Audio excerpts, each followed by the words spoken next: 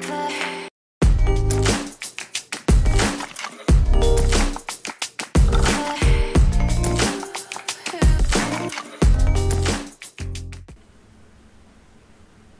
on authority that a lot of my subs, y'all are accustomed to my style. That I usually don't talk about celebrities like this because I have no favorite entertainer in no form of fashion, no favorite sports personality, no favorite Hollywood actor, actress, no fam- famous singer. Okay. So you all know this about me because I have new subs. I want to thank you all for subbing, whether you stay subbed or unsub and resub or whatever. I appreciate your support and I appreciate your feedback. So for everyone who's new, I really don't talk about celebrities much. Let's talk about jail right quick. Okay because this was just so stupid, I just couldn't let it go. You get arrested, right? And rightfully so, because you've been caught on tape doing a crime that people had long suspected you had done. You've had a myriad of allegations for decades that people swept under the rug, and you're finally captured. Not so much captured because we the cops knew where you were and you're locked up. Again, we have to take the evidence as what we've seen because a lot of this was speculation until things continue to leak that is pretty hard to prove nor disprove more so disprove than anything that that stuff was uh set up meaning that it was something that was done as a setup to get this person. As is when you got a defense attorney for these type of charges. That retainer got to be on fleek man. I mean I, the legal bills i can't imagine. But what we not gonna do to our defense attorney who's trying to fight to get us out of jail because we didn't got ourselves in this mess is write down a to-do list of who to get dirt on. Of course, that's sugar. And then y'all will hear her meow probably. To write this to-do list and then leave it so that it can be found and used as evidence. When you're this high profile, you just don't do something this this this careless. Something about this seems off to me, but I'm not going to push conspiracy theories. Let me talk reality. I'm 44. That means born in 1980. I really feel I'm of the cusp of that last generation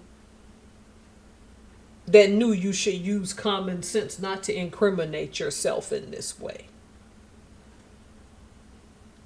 We can get into the uh, whole thing of you're making what people say about you true. That's stating the obvious, right?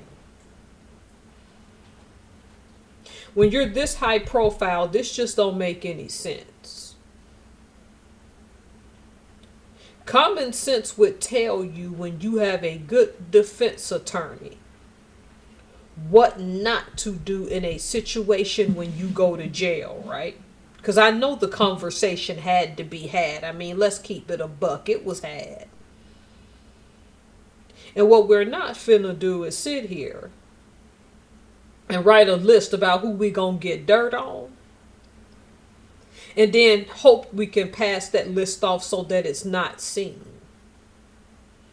As if the charges against you weren't enough y'all can remember, right? Because I got at least one or maybe two subs who worked in the uh, prison system that understand what I mean. People of that high profile just don't do dirty stuff like this in the open.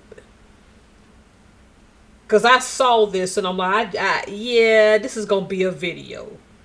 Yeah, we gonna drop this one. Is this what's going on now? Where we know we've committed a crime, so it's just easy to just self snitch on ourselves and write a list of who we think is the problem? Because the prosecutor is going to eat this up. He may as well have served this in a, in a high end restaurant with Dom Perignon and served it up like it was a freaking uh, Japanese Wagyu. Because there's a difference between the original Wagyu from Japan, okay, from Kobe, and the American Wagyu. Not to say that American Wagyu ain't good, but you know what I'm getting at.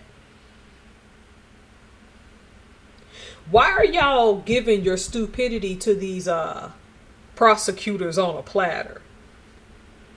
And you really think that can't be used against you?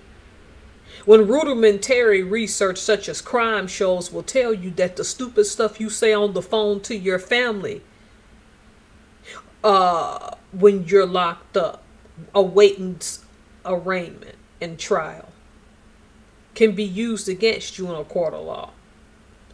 When you want to put a hit on someone because you know that person being alive is a, a you perceive as a threat to you and you don't think for a hot second the other person's not going to snitch so that they can get their time lowered. You write a list thinking they don't do raids when common sense tells you that they have to go and do secret raids for contraband. Never been locked up. I wouldn't know, but I'm saying this seems like common sense.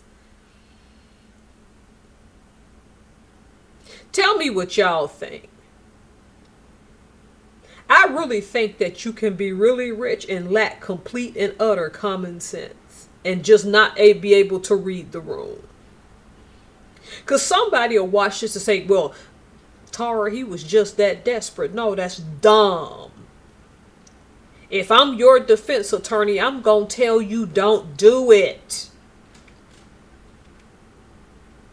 It's hard to not show weakness because you locked up when you're not accustomed to that. But you don't blatantly show weakness by doing stuff like this.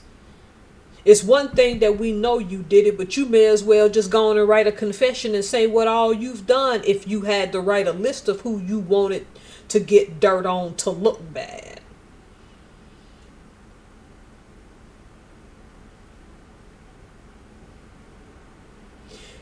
Can y'all answer the question? Why are people so comfortable now with self snitching? I, I'm just, I, I'm just curious, and doing it to a level where they seem like the higher profile they are, the more they seem to do it in a way that it's gonna make the news. Cause you know this is gonna make the news. Tell me, y'all, why do y'all think people are comfortable with self snitching?